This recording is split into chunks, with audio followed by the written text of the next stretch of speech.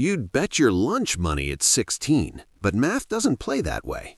So let's look at this expression carefully. 2 minus 4 times the quantity 2 minus 4, all cubed. And I know exactly how most people attack this. They see the first two numbers and think, okay, 2 minus 4 is negative 2. Then they look inside the parentheses, 2 minus 4 is also negative 2, cube that, and you get negative 8. Now multiply negative 2 by negative 8, that's 16. Feels solid, right? Clean arithmetic, signs make sense, confidence is high. This is the solution I see people defend aggressively. But here's the quiet problem. That very first step already rewrote the expression. The math never gave you permission to subtract 2 minus 4 at the start. That subtraction is not grouped. And before we fix it, quick pause. If you like catching these sneaky little math traps before they catch you, hit like and subscribe because this channel is basically a safe zone for making these mistakes and fixing them. Okay, now let's reset and follow the actual rules.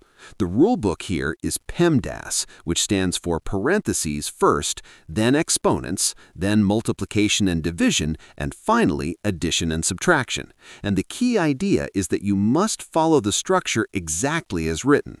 So look again. 2 minus 4 times parentheses. That 4 is glued to the parentheses by multiplication, so subtraction does not get to go first. Step 1 is parentheses. Inside, we have 2 minus 4, which equals negative 2. Step 2 is exponents. Negative 2 cubed is negative 8. So far, everything is fine.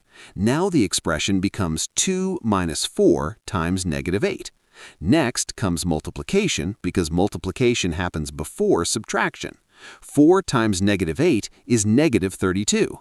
Now the expression is 2 minus negative 32.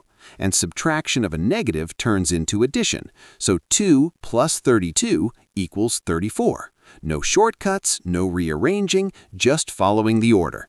So the correct answer is 34, not 16. That wrong answer wasn't sloppy, it just jumped the gun on subtraction. Disagree with the result? I'm open to arguments. Let's debate it below.